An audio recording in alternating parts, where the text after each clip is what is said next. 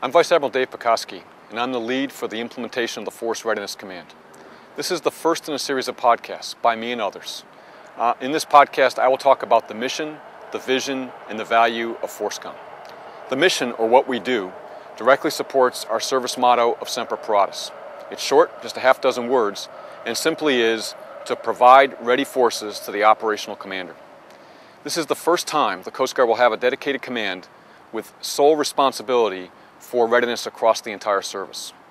The vision, or what we want to be, is simply the best provider of mission-ready maritime safety, security, and stewardship capabilities to meet the threats and challenges of the 21st century. Now this mission and this vision are both tall orders. They're both very achievable and they're mandatory for our Coast Guard. What forces comprise FORCECOM? FORCECOM is responsible for readiness of the total force. FORCECOM will have operational and administrative control of all major cutters, all long-range aircraft, all deployable specialized forces that are part of the Deployable Operations Group. Um, it will have operational administrative control of these units until they're deployed, and then operational control shifts to the operational commander. ForceCom will have operational control all the time of all of our training centers and both communications area master stations. When will we implement ForceCom? In less than a year from now, beginning in the summer of 2009. Let me talk about the value of FORCECOM for just a minute or two. And the value is really in two dimensions. It's in, in improved force allocation and improved force readiness. In terms of force allocation, because FORCECOM is a national command, it has a national perspective in the allocation of forces. So when a mission requirement is provided, FORCECOM will draw forces from across the entire service. This should result in better surge capability with less impact on routine operations.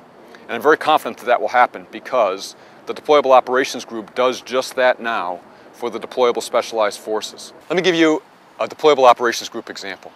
I'm here at Maritime Safety and Security Team San Francisco.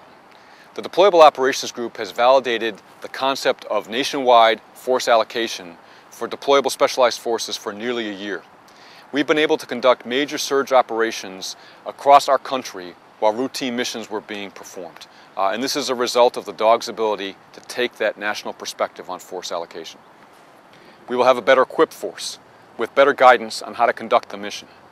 An example would, would be in the future, when FORCECOM is stood up, when you receive equipment, that equipment will come with standardized training and maintenance on its use. That, that standardized training and maintenance will not occur after the equipment arrives at your unit.